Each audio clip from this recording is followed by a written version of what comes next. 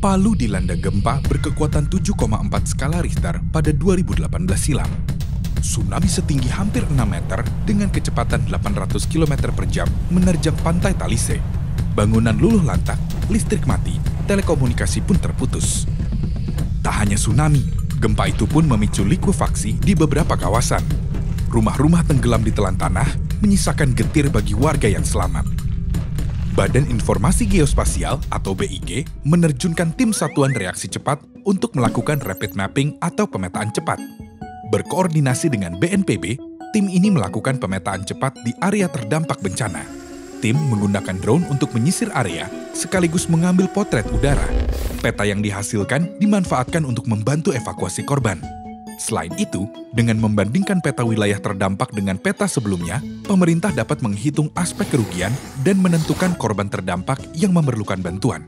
Pemetaan cepat barulah satu bagian kecil dari fungsi informasi geospasial pada penanggulangan bencana. Sobat Geo tahu nggak manfaat informasi geospasial lainnya?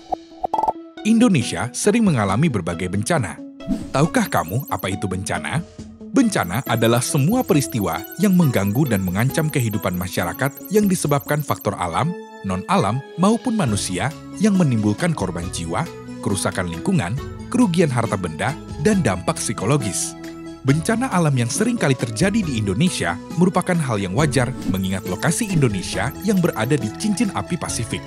Letak Indonesia yang berada di titik pertemuan tiga lempeng tektonik yang senantiasa bergerak membuat Indonesia rentan terhadap bencana seperti gempa, tsunami, gunung meletus, dan longsor. Bencana alam belum dapat diprediksi secara tepat kapan bisa menimpa.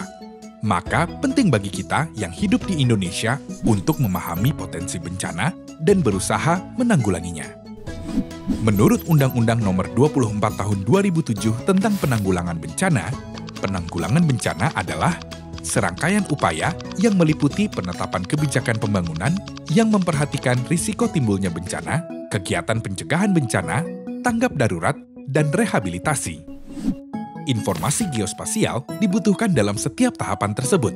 Pertama, tahap penetapan kebijakan pembangunan.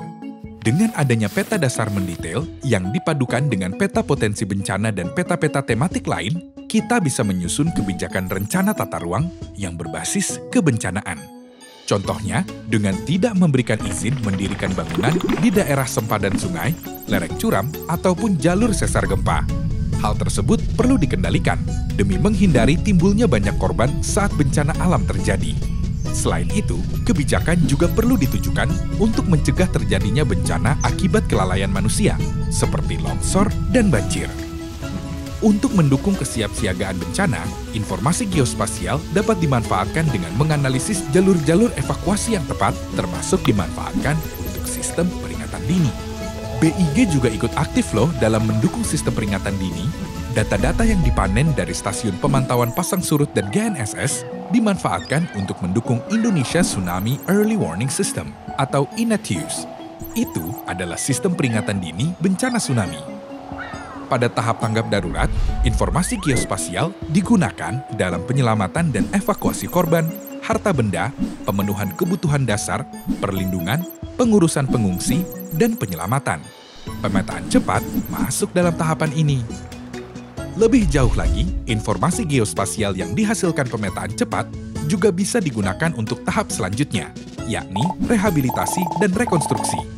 Bencana yang terjadi mengajarkan kita agar kita bersahabat dengan alam. Peta mencatat informasi-informasi penting agar kita bisa beradaptasi dengan lingkungan yang senantiasa berubah. Sudahkah Sobat Geo mengenali potensi bencana di lingkungan masing-masing? Yuk kita pelajari bersama melalui peta.